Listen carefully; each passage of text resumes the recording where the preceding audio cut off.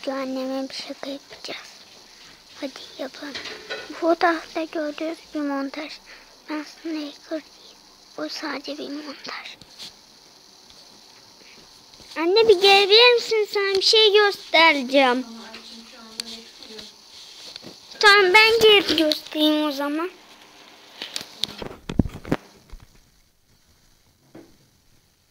Nasıl yüzümü göstereyim mi?